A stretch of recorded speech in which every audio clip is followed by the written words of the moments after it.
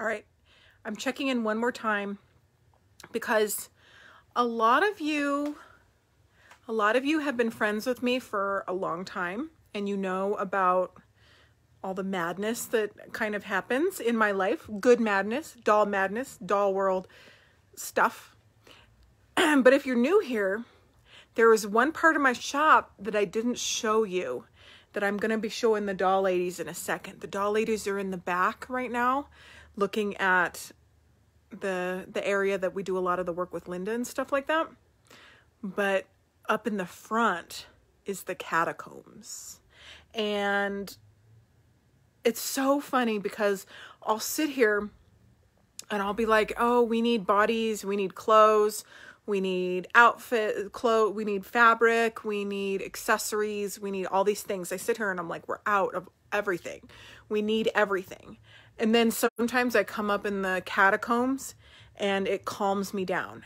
So I'm going to show you and the catacombs are it's it's our stash. It's basically our um it's our stash of of our stuff. So the thing about being a doll shop is you can get a body or a head or whatever and you don't have the other parts and so you got to hold on to them until you get the right one. And if you guys understand what that's like give me an amen because you have to have a stash. If you have a stash tell me about it. I want to know if you guys have a stash and what your stash is. So some of us stash fabric some of us stash clothes some of us stash bodies. I have a stash of everything and i'm going to turn the camera around and i'm going to show you all right, you guys ready? Here's a part of my stash. Just a little bit. Just a little bit of the stash. So if ever there is a time that you feel like you've got too much of a stash or that you are not normal because you your doll room, I don't know, looks like this. Now, this some of these fell over and we didn't just in my madness of getting everything together for the virtual convention we i need to pick them up and to like literally organize. So it doesn't usually look like we had an earthquake but you know it's fine. It's fine. So here's the doll stash. Hi guys. Yes lots of doll everything for sure I'm sorry some of you guys haven't been feeling well. I've seen that a lot in my feed. Whoever hasn't been feeling well, I hope you guys feel well very soon. And I also hope that sometimes my live feeds brighten your day and make you feel a little bit better just by hanging out with me. So I really appreciate it. So here's my stash. Look at this, you guys.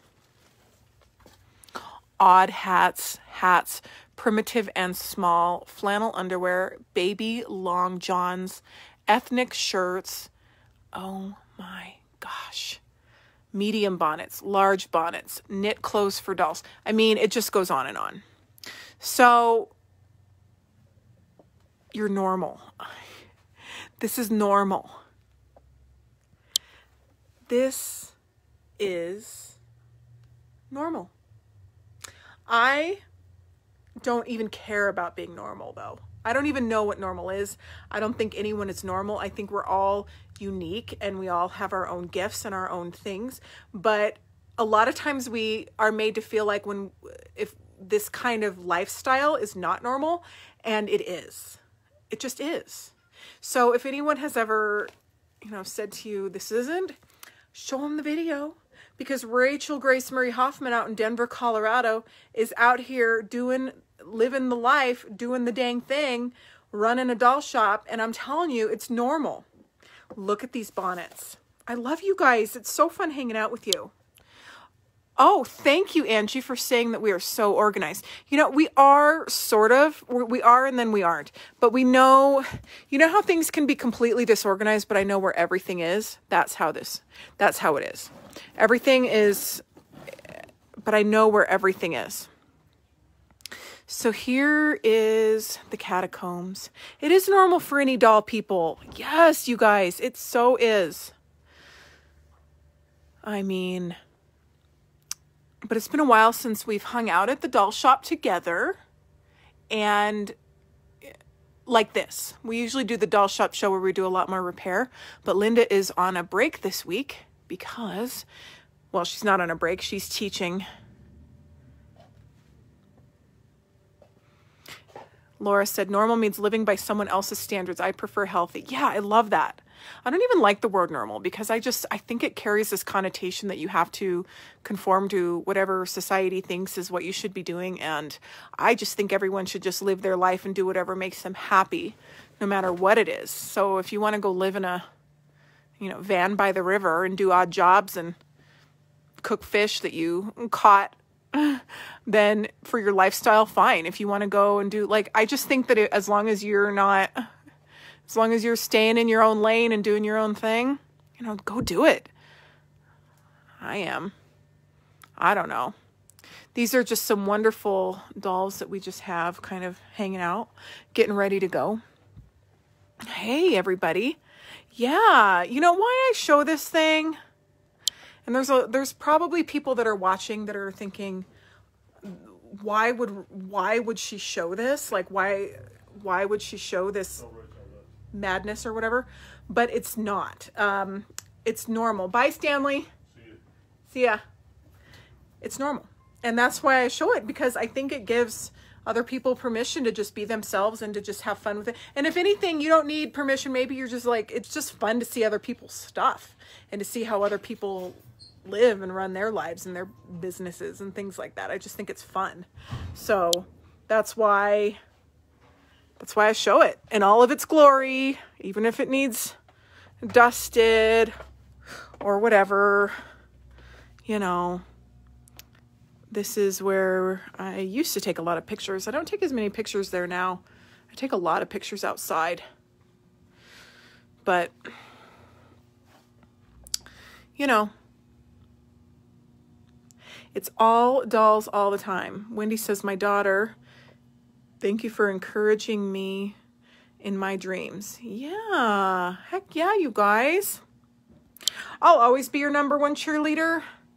Um, I've had people tell me that they had the courage to like do all kinds of things, like go and get a haircut or do things that they have been putting off because they see me doing it. And I just love that. So, you know, if there's ever a time that you guys feel like you're not on the right path or doing the right thing. I feel like that a lot too. It, life is just like that for everybody, but come to my page because we just have fun over here and it's just all about living life and having some fun. Here's some fun little see, we do teddy bears and all kinds of like stiff animals and things like that. We like it all. We like it all. I think the doll leaders are in the back now. Let's see what they have to say.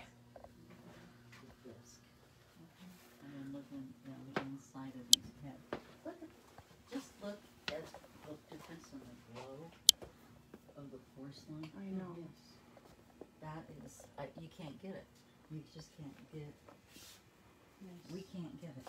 Now, remember what I said that you can Look at the. They're discussing. What are we discussing? We're discussing the difference in our bisque and the antique bisque. Okay. And there's a different look. and it's hard to explain what kind of a look that is until you, you see it. Ours is a, a finer look, and this is more, this is just a prettier look.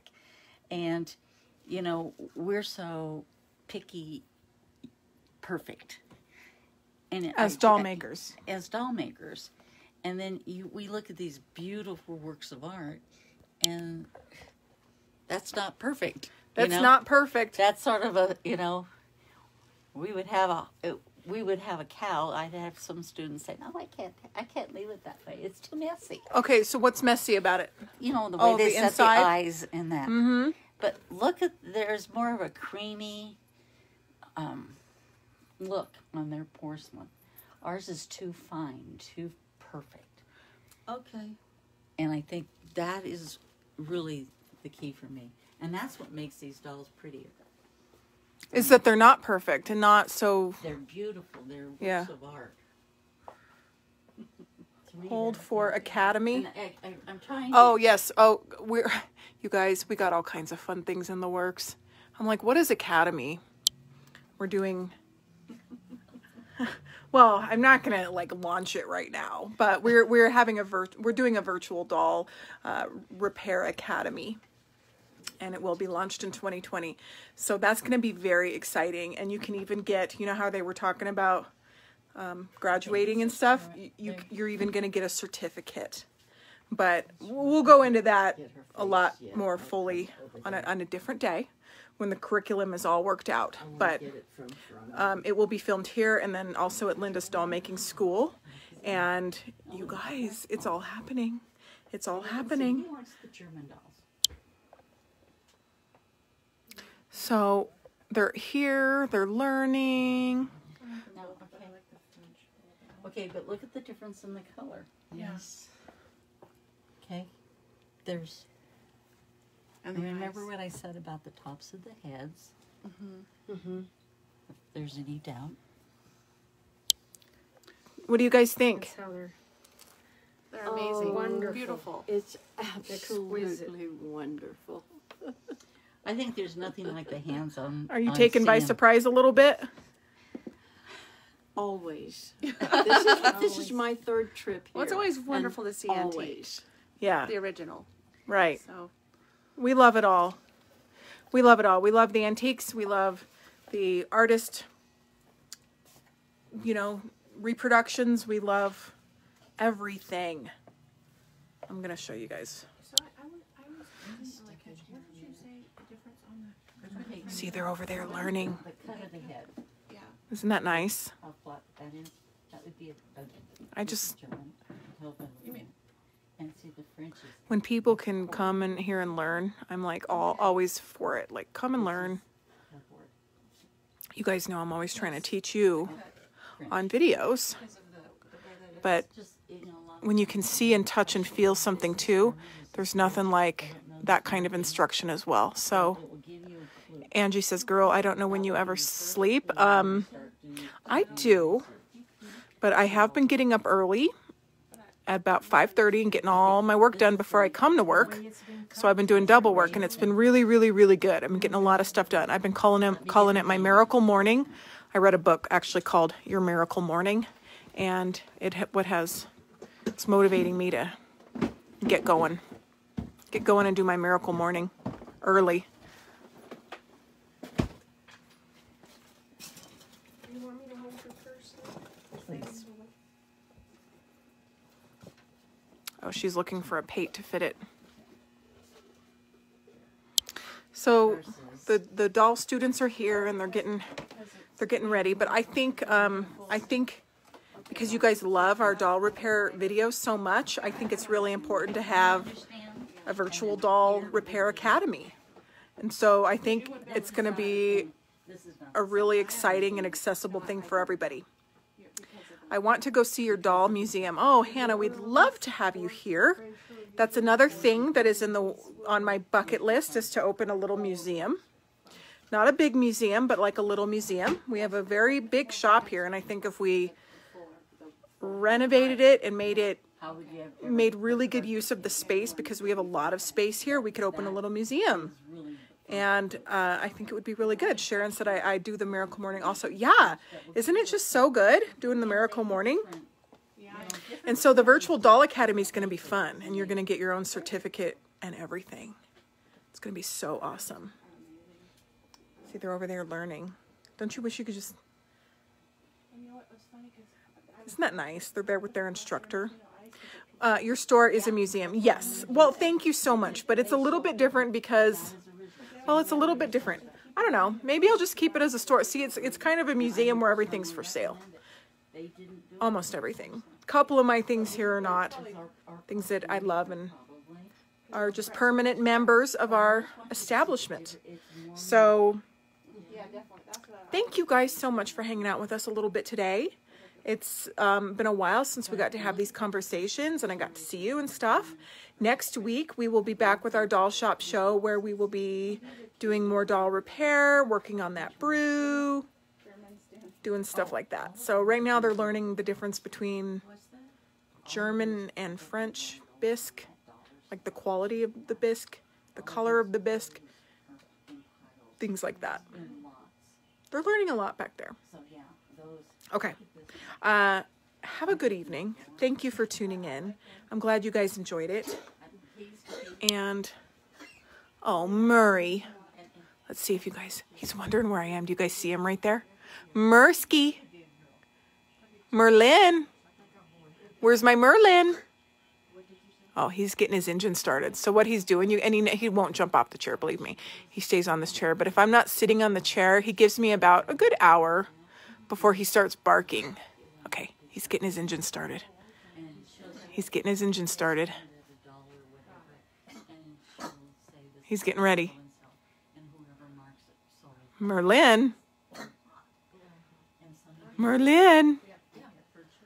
Murray, come here. Come here. All right. Oh oh, oh, oh, he's just barked. Oh, I got him. I got him. Here. All right. Here's our Merlin. He's got an appointment next week with Charlene at the Clip and Curl. Huh. They love you. They love you, Mur. You're you sweet little heart poodle. All right, guys. That was fun. I'll see you soon with more updates and all the stuff that's going on. So I had a blast with you today. Bye.